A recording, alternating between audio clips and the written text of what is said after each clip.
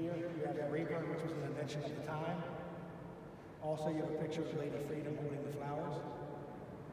And then here you have the Industrial Revolution, which is the anvil and the steam power with all the iron, the cannonballs. And then there you have, I cannot think of his name, he is the financier of the American Revolution.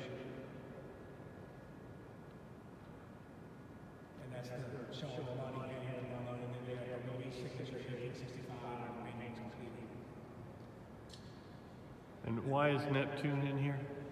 The table. Okay. And it's, it's, it's supposed to show like man's endeavors and America's endeavors. You know, because America being an ideal, not really a country. It was supposed to show all the things incorporated. What's the deal with the rainbow? Hoping for better days, I would imagine. Huh? Hoping for better days, I would imagine. Yeah. but one of the unique parts of this painting that a lot of people do not get, and this is of thousands, upwards of 10,000 people a day during the peak season.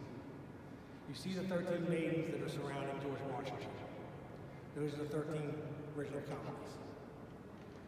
There's something unique about three of them.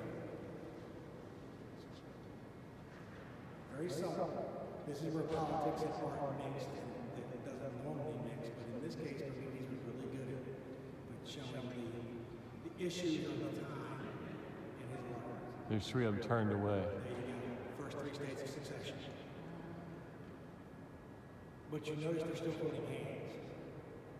So in Lincoln's world, even though the country was split, his idea was, as a union of states, we can disagree. Those ladies are turning their back, but they're still holding hands in unity, meaning that we can get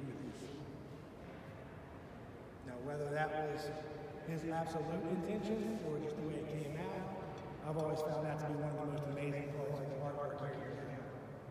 Because it does show our, we're not perfect as people.